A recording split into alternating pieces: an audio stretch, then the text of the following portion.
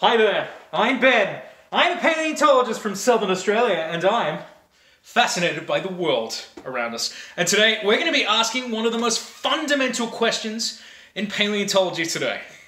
Is the megalodon still alive? no. Why would it still be alive? It's such a stupid question. I just, oh, I just don't understand people. They're just so bloody stupid.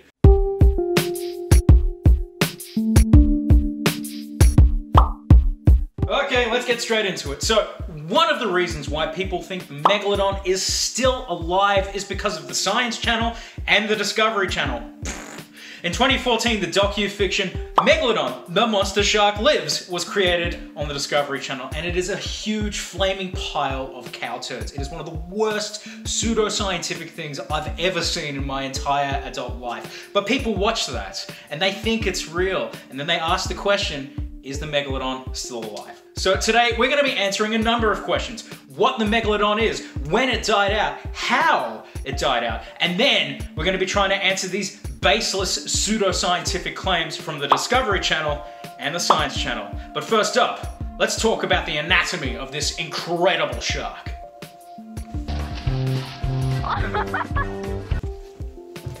this is a tooth that I found in the Lost Wall of Bayside. It's one of the largest teeth ever found on the continent of Australia. And one thing you might notice about it are the tiny little serrations running up and down the blade itself. Those serrations allowed the megalodon to cope with rough mammalian prey.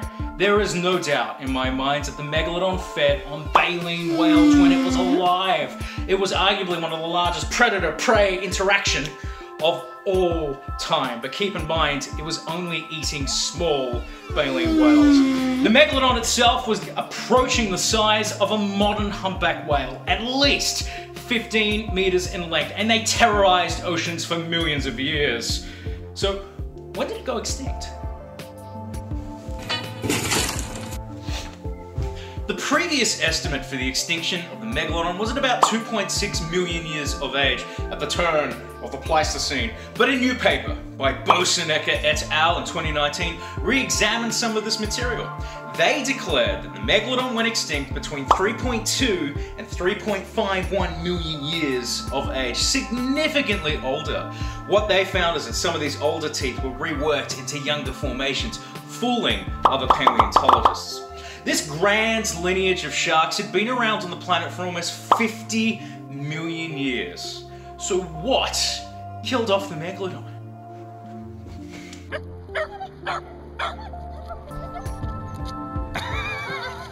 There are a number of reasons for the extinction of the Megalodon. There wasn't one gigantic This ball is crushed. whack over the top of the head that led to the extinction of this animal. Travel back more than three and a half million years ago and you might start to see the reason why this animal went extinct. The Earth itself was going through a prolonged period of glaciation. The Arctic was just beginning to freeze over and this created a number of geographical barriers, especially to its prey.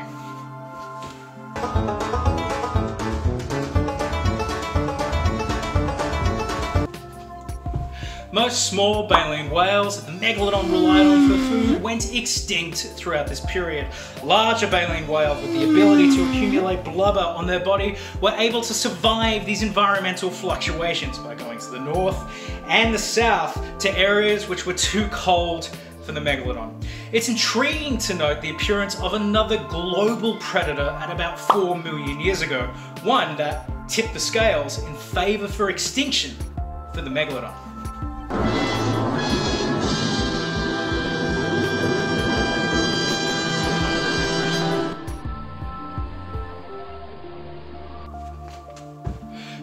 White sharks are one of the largest macro predatory fish in the ocean today. They get to about six meters in length and weigh about two metric tons.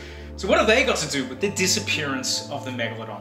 They reached global supremacy at about 4 million years of age, and it's thought that more mature great white sharks actually knocked out a growth stage of the younger megalodon itself. When you've got two animals competing for the same resources in the same ecological niche, something's gotta give. Goodbye.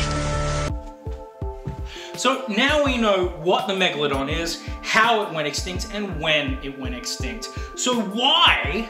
Why? Why? Why? Why? Why?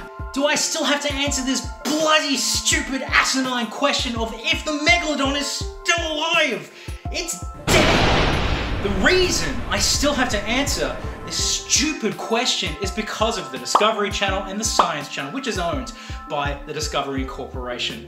They peddle out pseudo-scientific claims all the time. They're the group that is responsible for mermaids, the body found. I mean, if the megalodon was still alive, we would have found at least one of its teeth modern teeth, but we don't find that. Sharks go through tens of thousands of teeth in a given lifetime. We would have found the bloated carcasses of the food that they're feeding on, but we're not finding any evidence of this creature whatsoever.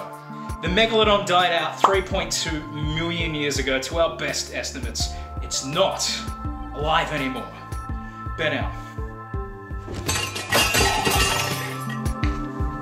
Hi y'all, it's your boy Ben. Thanks for watching, like subscribe. And if you have any questions, chuck them down below. Ben out.